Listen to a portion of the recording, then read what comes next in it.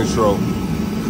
Torpedo's going because it's six something in the morning, like six ten in the morning.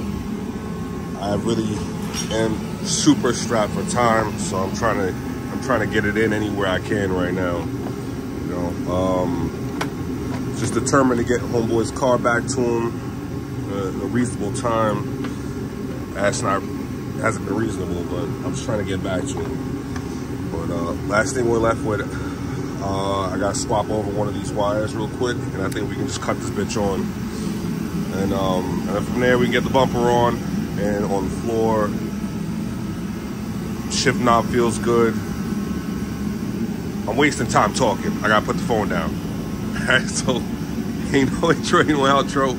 Isaac, I love you, bro. I'm strapped with time. I'm trying to get it.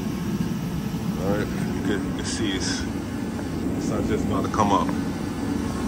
Alright, ain't no outro. Let's go. Let's go.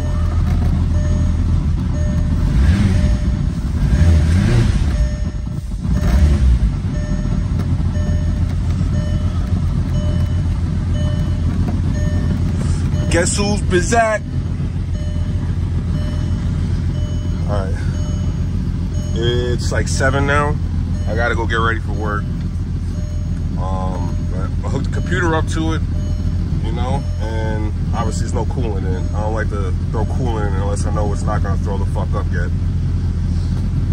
And um, we're good to go. Still gotta fuck around with this a little bit.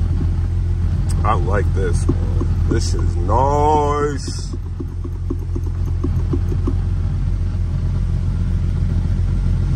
And um, we'll pull oil out it for a little bit. Get our little flush. Make sure nothing throwing up.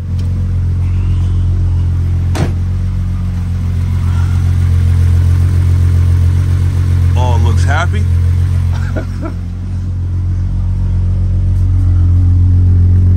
Sound sexy. Ain't no outro. Let's get it. Ain't no intro. We're just trying to scan it and uh and knock off these codes, you know. So everything's on point. So got a little bit more to go. You will see what happens. There's definitely a bad ground in here somewhere from this head unit. Something is just clicking. Click, click, click, click, click, click, click, click, click, click. Um, and I think I might need a new oil filter housing gasket. I think so. We gonna see.